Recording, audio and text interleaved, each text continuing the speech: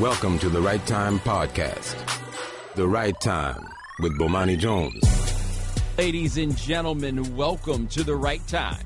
My name is Bomani Jones. Thanks for listening on ESPN Radio and the ESPN app.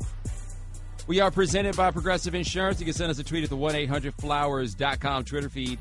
That is at Bomani underscore Jones. Game five tonight. Wizards Celtics. Hey, man, I, am looking forward to this game. We got a good one last night, and I've just found this series itself to be generally entertaining. I think the Wizards are a fun team to watch, and the Celtics, I mean, you watch them and you're like, I don't understand how they keep winning games, but they sure do. Right? Not so many good players. They're one good player. It's not very large, but here we are. And here's Isaiah Thomas. We got a quote for you. He says, I'm treating it as a must win. I'm treating it as the biggest game that I've ever played. Hopefully, everybody else is treating it like that. But I thought this was just pivotal, Shannon. How do we go from pivotal to must win? Like it's both now, huh? Yeah, like did nobody tell him? Like he's skipping steps right now. Like this isn't quite a must win. Y'all at home, I don't feel like this the must win for y'all. This is simply pivotal for Boston. But no, he is taking this straight to the must win part of it. And I though I will say the way they got smoked those two games in Washington, they can't feel like they can just come back and win those. He went straight from he he bypassed hyperspeed, went right to plaid. But look, he knows his team better than we do, and he knows especially how well Washington played back in, in Game Six, how the, how Wizards played in Washington. That if they lose this one, it might be over for him in that stave situation for Game Six. Yeah, it's gonna be cracking in there too. Like that's one thing about it. Like there, I mean, there aren't that many arenas where I feel like me watching the game is improved by the fact that a game is at a certain arena.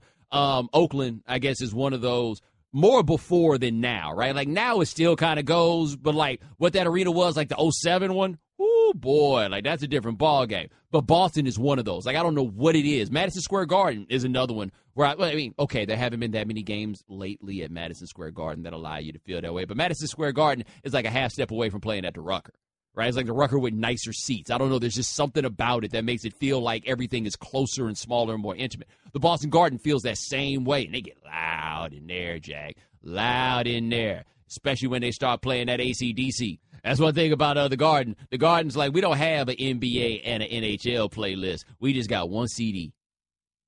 One CD had the same mixtape. They got the same tape. They just flip it over to side Every, B. Everybody else got different tapes. Not in Boston. They're like, no, sir, Bob. Those guys get paid plenty of money. They can listen to our heavy metal. They got no problem with that. One of my favorite moments at that garden. You remember that time when uh, Rasheed Wallace was playing for the Pistons? I don't know if you saw this. It was one game late late, like last minute of the game, and everybody's all, you know, coming out of the huddle, getting ready to go for it, and they were playing Paradise City over the PA, and somehow the camera caught Sheed, and all they catch is Sheed going, Take me home.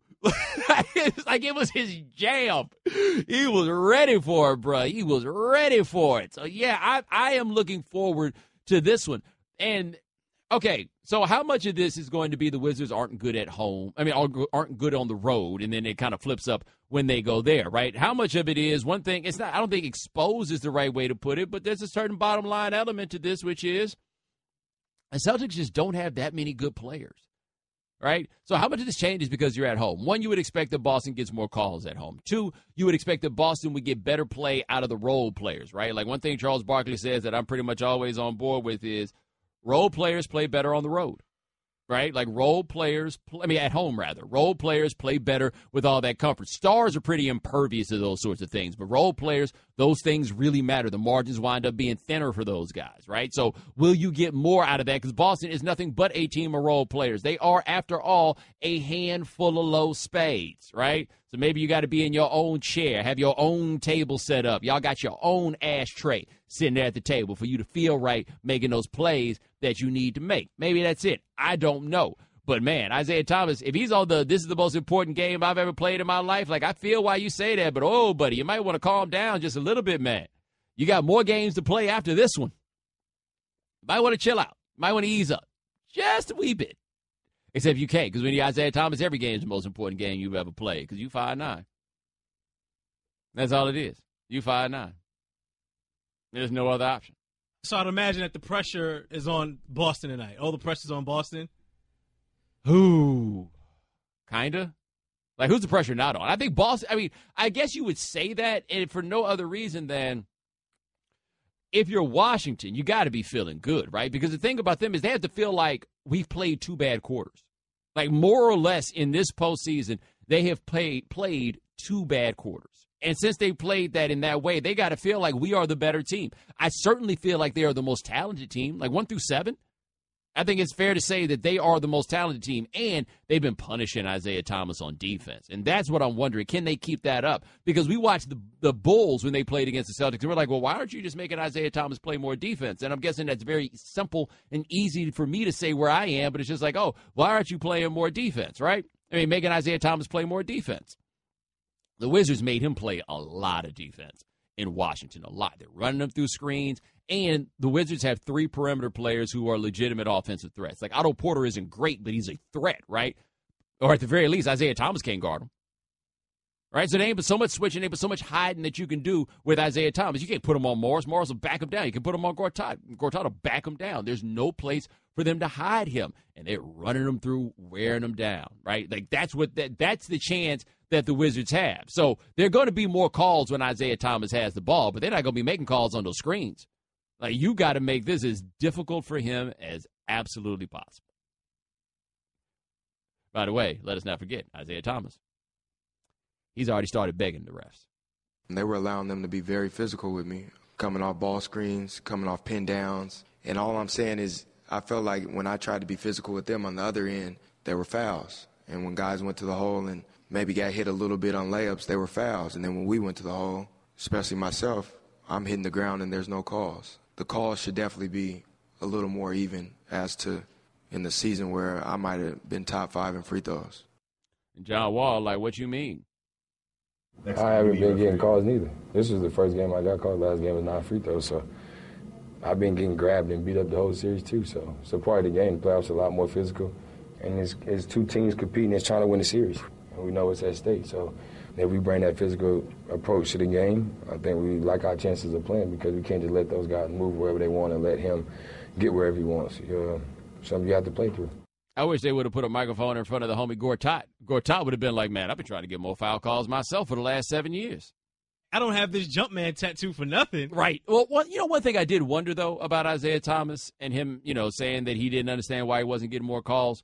Why was he doing that and not Brad Stevens? All right, because that's that's normally the coach who does the campaigning with the officials. I mean, is that something Brad Stevens is above? And I'm I'm not being sarcastic when I ask that. It's a serious question. Like, I mean, I would look to the coach as being the guy who would do that. And look, Stevens guys all respect him to no end. Isaiah Thomas is a big Brad Stevens fan. If you check the Jackie MacMullan feature on Brad Stevens and hear the ways that players talk about him, they rock with him. And Brad, Brad Stevens is not some shrinking violet, right? You don't see him when he's going hard on guys, but he does it, right? He just has that, you know, you get him, you, y'all got him on that Opie Taylor because he looks so young. But no, Brad Stevens is that guy. Like at some point, I do think he's got to realize, yo, in the NBA, this is the coach's job. The coach's job is to come out here and campaign for those fouls for Isaiah Thomas. Or is Isaiah Thomas going to come out here and get a technical foul in order to make it happen? I don't know. But I was a bit surprised there. By the way, Isaiah Thomas was fined $25,000 for what he said to that fan when he told the fan that he would F him up, and he knew that. I feel like Isaiah Thomas would pay $25,000 every game gladly for the privilege of making sure that at least one fan knows I will F you up. And you know that. Charles Barkley said he wished they could beat the hell out of one fan every game. And I'm not saying I necessarily go that far. I will say, however, there's at least one fan close enough to the action who probably deserves to get the hell beat out of him at every single game. All right, 888-729-3776. That's our telephone number here on the right time. Coming up next, how offended would you be if people asked you if that was you in the picture with a nude shark? Well, you nude in the picture with a shark because the shark is always nude. Find out how mad Jim McElwain was about this on ESPN Radio, the ESPN app, and SiriusXM Channel 80. The Right Time with Bomani Jones. Ladies and gentlemen, welcome back to The Right Time. My name is Bomani Jones. Thanks for listening on ESPN Radio and the ESPN app. We are presented by Progressive Insurance. Spencer Hall of SBNation.com joins us next segment. Spencer Hall joins us at 6.30 in Eastern. Talk about how Atlanta finally got that highway opened up. Hey, do you want to go to every single NBA Finals game? If so, make sure that you're listening to Mike and Mike every day this week at 7:20 and 9:20 Eastern for your chance to win the Mike and Mike Dream Final Sweepstakes brought to you by Dell for Small Business. And that's the old soul song of the day, "Cold Sweat" by James Brown. I'm just trying to get as long enough till we can get to the part where he says, "I break out." You know, James Brown was five six, by the way. I was always thrown off because of the heels. Explains everything, though. Here, now, here's the part. No, it's not. Okay, we turn it off. It's taking too long. 888-729-3776. That is our telephone number. So y'all see this picture? This dude that looked like Jim McElwain humping a shark. Yeah, yeah, yeah. Like Jim McElwain is the head football coach at the University of Florida, and there's a picture of him. Well, it's not him. It's a dude that looks like him, and he's in a boat, and he's butt naked, and he's on top of a shark. Now, I've got questions A about how the shark got in the boat, and B why you would be naked and want to get on the shark. And like the dude's got like the super tan line when he's on the shark, and he's smiling, and he's got these big old teeth, and he's got a haircut kind of like Jim McElwain's, and his big old teeth are kind of like Jim McElwain. So it became kind of funny to bounce around the internet. People saying that it was Jim McElwain. Guess who doesn't think it's funny? That's right, Jim McElwain. You've become part of this big uh, viral photo. Sure. I mean, what's your feeling on this situation? Well, first and foremost, I don't know who it is, but it isn't me. Clearly. I mean, it's what what's your just feeling in general? Just that something like this I- could even get out there and become a story. Well, I guess that's for you guys to answer. And you know, in the world we live, what is a story? I just know this: it isn't me. He has no sense of humor. Just play that one more time so you can hear how little of a sense of humor Jim McElwain has at the idea that maybe he gets naked and hump sharks. You've become part of this big Yeah. viral photo. Sure. I mean, w- what's your feeling on this situation? Well, first and foremost, I don't know who it is, but it isn't me. Clearly. I mean, it's what what's your just feeling in general? Just that something like this I- could even get out there and become a story. Well, I guess that's for you guys to answer. And you know, in the world we live, what is a story? I just know this: it isn't me. So this is what I need to know about this. Who is it that Jim McElwain is trying to convince that it's not him? Right? Because I mean, don't chuckle off like, "Oh yeah, I heard about that story." Da da da. No, Jim McElwain is like, "Yo, it is not me." Who does he? Who thinks it's him? Who did he go to and had to be like, "No, I, it's not. No, really, it's not me. I promise, it's not me." Well, you better get on TV and tell everybody that it's not you, because my friends think I married some shark humper. Is that what it is? Did he have to go to his bosses? And look, look, if you if you on the internet at some point today, look, you're gonna find gonna see some pictures, right? But I'll tell you right now, it wasn't me. Well, like I kind of understand to a degree, right? Like uh, one of my homeboys, he's probably listening to this, or he ain't listening now, he probably listen later. But one of my homeboys used to live in his houses when I was in graduate school at Carolina. Living house with a whole bunch of dudes, and they were still in undergrad, right? And the door didn't lock securely, so there was kind of no telling who could be in and out of there. Anyway, one night, shall we say, someone left a deposit in the bathtub. Right, a deposit in the bathtub.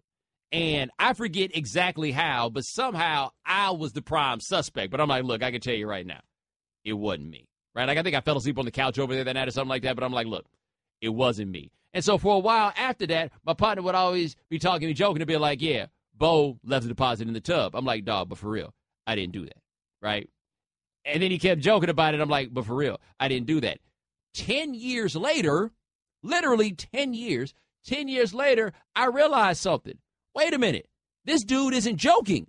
He actually thinks that I did that. At which point, I became furious, right? And I'm telling him, I'm like, dude, stop telling people I did that.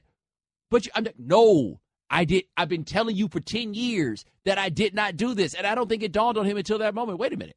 He didn't actually do this. Maybe Jim McElwain is trying to nip this in the bud early, right? He ain't gonna have nobody thinking he left a deposit in the tub. He's like, look, it wasn't me. Ain't no jokes. It was not me. That being said, would it have been cooler if it was him? I honestly don't know how you go into a recruit's house though, and there's pictures of you floating around, naked pictures of you with a shark. I don't know how you can walk into a recruit's house and ask the parents to trust you with their kid. That that is a good point. I I do think that once you put it in that context, that yes. What if you tell them I wrestled that shark out of the water myself? If your son gets out of line, I'll do the same thing to him. I'll wrestle him out the water, and then I'll lay naked on top of him. Nah, that wouldn't work. I don't think that's the recruiting um, approach. That would get nah, nah, not in the South. I will say though, uh, to your point, he took it really seriously, and I don't blame him for it. But he could have played it off though, right? Because I'm sure there's some coaches out there like like if a Dabo Swinney or somebody would have would have at least had a little more fun with it, like a Jim Har. Well, maybe not Jim Harbaugh, Nick Saban. Well, maybe not. Well, actually, I don't really see too many college football coaches that would have had fun with this. Let me tell you something though. Jim McElwain, they're gonna fire him from that job sooner than wins and losses would indicate that they should, because he's no fun right? He's absolutely no fun. Like this job is going to burn him out if it hasn't burned him out already. Remember, this is the man who already said that uh, his job was to get to the SEC championship game. And we're like, bro, this is Florida you work at. Ain't nobody selling for that. 888-729-3776. That's the telephone number here on the right time. We were talking about whether or not you'd actually want to attend a game seven for your own team because it comes with a lot of tension. Let's hit the phones and talk to Michael from Austin. Michael, thanks for calling the right time. How's it going, Bo? Going all right? Uh, yeah, I just wanted to back you up on what an awful, awful, awful idea it is to go to a game seven. I'm the worst experience I've ever had in my life going to a game was going to actually a game seven hockey game I'm, now I'm even not that huge of a fan, but I was a big Phoenix Coyotes fan back in the day. Uh, and they were playing a game seven uh, against the Blues, and it was pretty much their best chance of winning ever. Uh, they were only the fourth seed that year, but that was back when it was the Western Conference was stacked with like the Red Wings, Stars, Colorado. But so they had a four or five matchup, and it went all the way to the game seven. All games were really tight, one goal games. And I was at the game uh, with my brother. Good seats on the blue line in the, in the front of the upper deck, and it went all the way to overtime, zero zero. Like you know, everyone was hmm. there were so many close goals, but both the goalies were standing on their head. It was getting tense. Everyone was like shaking. Everyone was getting really weird, and went all the way into the overtime. But still, everyone thought we are going to win. And then in that split second, you know, there was a freak goal, and the season's over. Every you got to go home. And we were mm. just sitting there shook, and we're like, and we couldn't move. And then like the people, the like the stands and people in the stands, they they forced you to go. And we're like, for real? Come on, can't we just sit here for a minute and stew? And we had to leave, and we were all pissed. I was a teenager at the time, and just as a side note, like like I was going out, and we were going out from the symphony hall, and they had a bunch of velvet ropes there, and I just grabbed one and I just threw it across courtyard of the symphony hall. That's how that's how pissed I was. And then I grabbed it and took it home, and then I used it as a souvenir. Basically, whenever I, things were really tense in a game, I would just grab it, kind of bang it against the ground to try to get out that tension. Um, so that I don't know. I guess that's the only good thing that came from it. But it was an awful, awful night. Well, I tell you, thanks for the call. You guys heard it from Michael. Don't go watch your team in a game seven. You could wind up throwing stuff. 888-729-3776. That's our telephone number. Coming up next, they're going to get I-85 back open for Monday rush hour in Atlanta. Spencer Hall of SB Nation will tell us how they going to mess this up on ESPN Radio, the ESPN app, Sirius XM, Channel 80. The Right Time with Bomani Jones. Ladies and gentlemen, welcome back to The Right Time. My name is Bomani Jones. Thanks for listening on ESPN Radio and the ESPN app. All guests join us on the Shell Pennzoil Performance Line, just like our next guest. Check him out at SBNation.com. He's the best college football writer in America. His name is Spencer Hall. Now, Spencer, you are a University of Florida graduate. What did you think when it looked like your head coach was humping a shark, but he swears he was not? Oh, that's fine. That's fine. That's typical. I mean, you don't go to the University of Florida, which is located in Florida, without expecting important public figures to be seen cuddling wildlife. So that's fine. That's that's typical. That's you signed up for that. I signed up for that. So yeah, and it's funnier still. By the way, he's he's kind of he, he's kind of mad about it because if you ask him, he, he's not cool about denying it. He's like, no, of course that's not me. And by the way, it's not him. It's clearly not him. Like it's just it kind of looks like him. But he, but I'm just gonna say keep you know like bringing this up and saying yeah it's definitely not him. Definitely not the guy who looks like he's naked straddling a shark because because he's not cool about it, right? This is like if your friends catch you doing something and it turns out you were actually doing something else that wasn't either as embarrassing or you had a reason to do it. If you're cool about it, they'll let it go. And if you're not cool about it, they'll keep bringing it up. So so remind me uh, I need to stop talking about that picture, which is definitely not Jim McElwain uh, in flagrante delicto with the shark.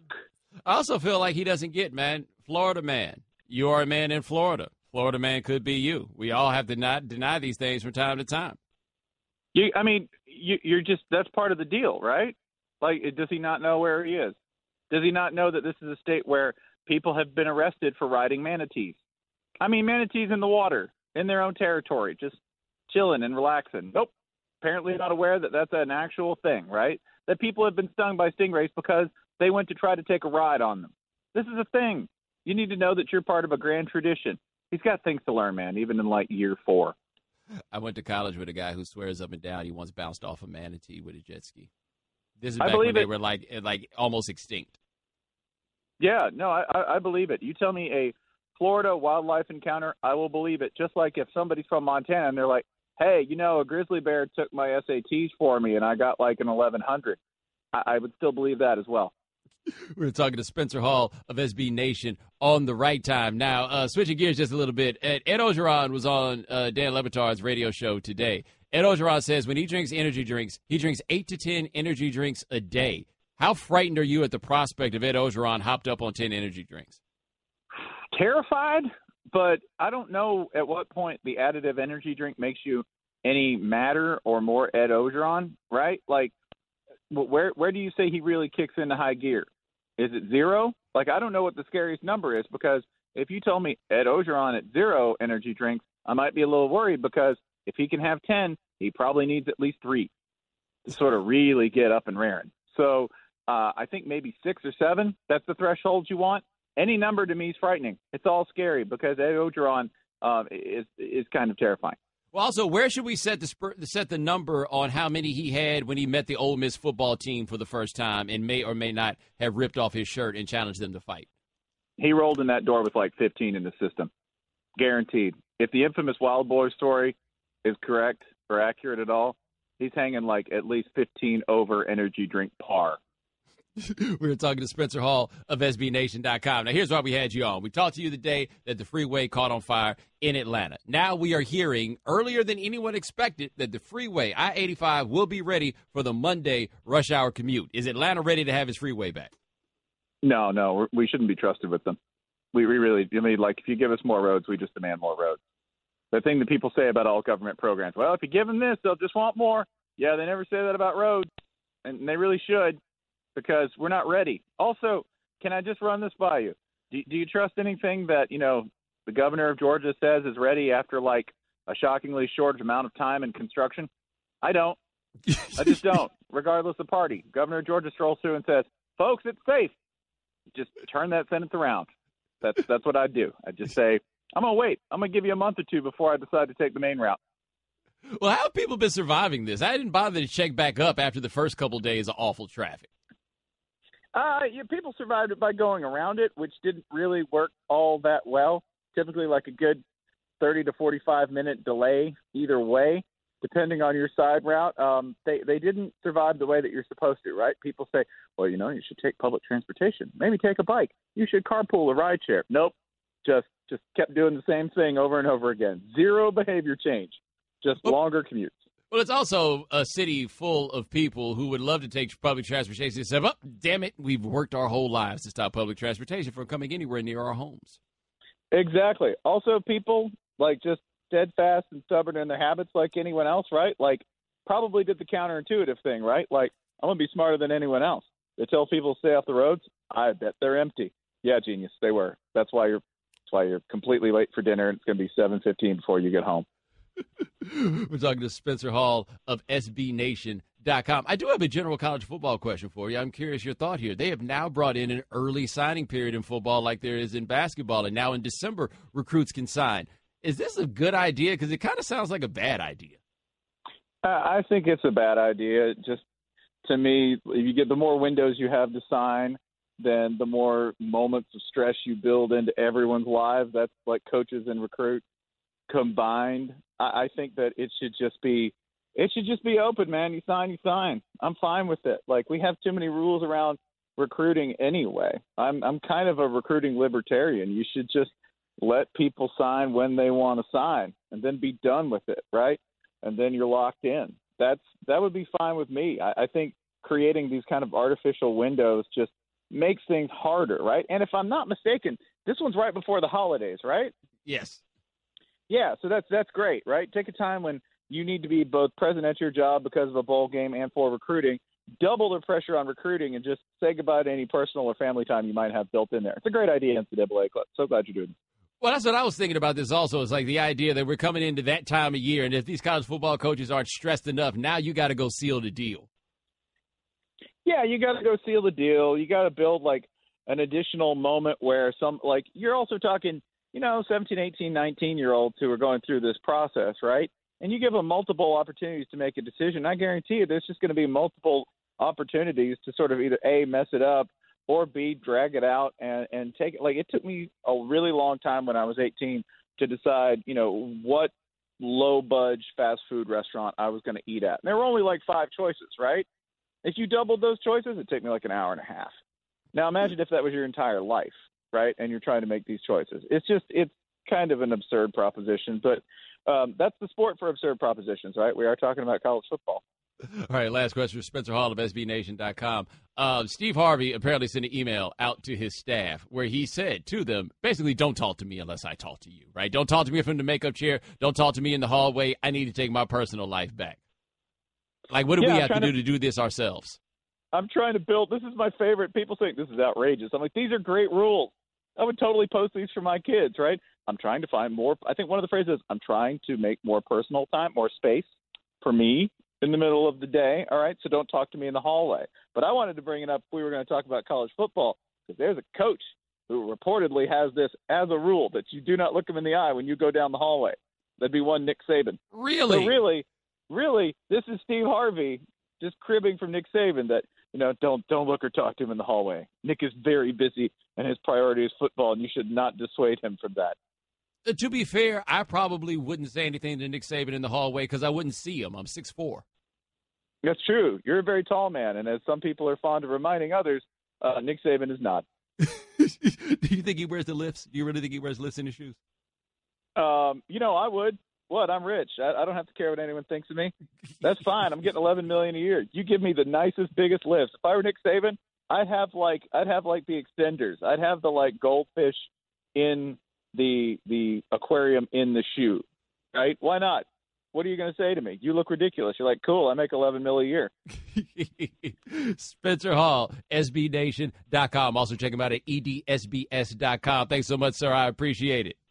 All right, take care. All right, now choose Shell V Power Nitro Plus Premium Gasoline for the best total engine protection you can get. The right time with Bomani Jones.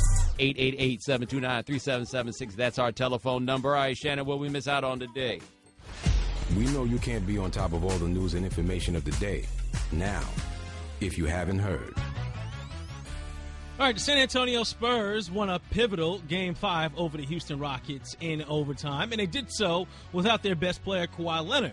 And moving forward, although Leonard says he's going to play in Game 6, there's a possibility he may or may not, meaning San Antonio would have to rely more on LaMarcus Aldridge. And if you haven't heard, here's Bomani Jones earlier today on The Right Time discussing the chances of San Antonio having to rely on LaMarcus Aldridge. And look, man, I told you this, and I felt bad about this before, but LaMarcus Aldridge's whole career, I had been holding one game against him, and it wasn't even a game that he played in the NBA. It was a game he played in college, the Elite Eight round against LSU in 2006, where Glen Davis was guarding him, and he was guarding Glen Davis. But Glen Davis just basically was like, I'm going to move this dude off the block every time. He will not stop me from getting him off this block. And over and over again, you just saw LaMarcus Aldridge get moved off the block. And the thought at the time was, okay, well, LaMarcus Aldridge, when he gets his base stronger, because Glen Davis at that point was probably about 320 pounds. So we're like, when he, when he gets his base stronger, these won't be problems. Except it looks like he just doesn't have it in him. Like he's not the guy that's going to try to back you down and create space on the block like that And I just can't figure out why that's the case now. The Rockets don't have a soul who I think can guard him. And I think Capela's good, but I don't think Capela can guard LaMarcus Aldridge. He should be able to do more, and he's just not. And so if they wind up out here in game six without Kawhi Leonard, look, LaMarcus Aldridge, you're supposed to be that dude, right? When he was in Portland, you had the stories about him being a bit resentful of the fact that Damian Lillard was being treated as that dude and Aldridge was not. Like, yo, this is your time to be that dude. You should be that dude. Do you just not have it in you to be that dude? Because it's here now. All right, if Kawhi does not lace him up for game six, does San Antonio have any shot to beat Houston at Houston? I mean, it's hard for me to imagine that they could because I just don't think, like, what would the Spurs be if they did not have Kawhi Leonard that season? Like, how good do you actually think they could be? So I feel like that this should be an maybe not an easy win, but it should be a win for the Rockets. It's just about how hard is KG is CGB rather going to go at James Harden because he shut him down. Kawhi is the guy that you'd hope to be able to do it in the major moments, but it had to be Jonathan Simmons in this game, and it was. And speaking of which, we had a right time Twitter poll today, which was tweeted out from the ESPN radio account, and our question was: Are the Spurs a playoff team without Kawhi Leonard? Sixty-six percent of the people said no. 34% of the people said yes. So that's that's not surprising because uh, the majority of us would feel that they wouldn't make the playoffs without Kawhi, right? Especially in the West. I would think. I mean, uh, we had some people that tried to fight us on this one, though, and I'm like, look, I feel you, but who else is going to get buckets? All right, we have a win or go home situation tonight. We actually have two of those in the NHL, one of which we got Penguins and Capitals, which led to our other Twitter poll today. Would you want to attend a game seven that your team was playing in? Our choices, hell yes, or I'd rather watch at home.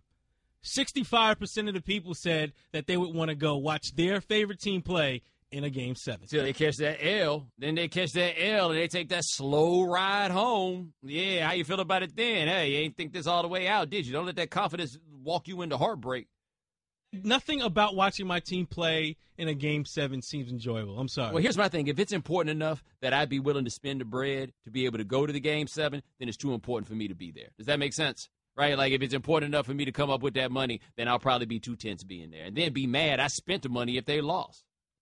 All right, with all the blowouts in this year's playoffs, one of the narratives, of course, was that uh, the playoffs have been kind of boring. Well, one of the things that haven't been boring, of course, is Draymond Green and when Draymond Green has things to say. So, of course, now Draymond Green today talking about the media and how they're blowing everything out of proportion. I don't understand how all these things are always made so controversial. Not that it alters my daily life. Like I still go home and have fun with my kids and have a great day. Um, but it's just ridiculous how everybody's always searching for a controversy. So there go y'all headline of the day. Draymond said Cleveland's playing great basketball. You Let's see if that one makes it. Appreciate you, Draymond. Appreciate you. Like I'm always here for things that we can talk about, and if you'll give it to us, I appreciate it because I totally get how frustrating it has to be for those dudes when we manufacture controversy. And I feel like on this show, at least when we talk about those sorts of things, we do try to be like, okay, come on, this isn't a big deal necessarily. But yeah, uh, I, I, yeah, you're right, Draymond. We absolutely make bigger deals out of these things than they are because all these hours ain't gonna fill themselves. One thing that I hope, and of course I don't think it's going to happen, I just hope Draymond doesn't stop talking. No, no, no, no, no. Like, I need this. I mean, he's absolutely right. We are using him for our own devices, right? We take what he says and we make more out of it so we can have something to talk about on these shows. Look, man, I made peace with that a long time ago because the solution to that is stop making stuff out of this and I got to go get me a real job. And I ain't going to get no real job just because Draymond's tired of it. But, ladies and gentlemen, thanks so much for joining us here on the right time. We do this every weekday, 4 p.m. Eastern. Shannon, Nuno, Steven, thanks so much. Jeff Dickerson's filling in for Jalen Jacoby. He's coming up next. Thanks for listening to the Right Time Podcast.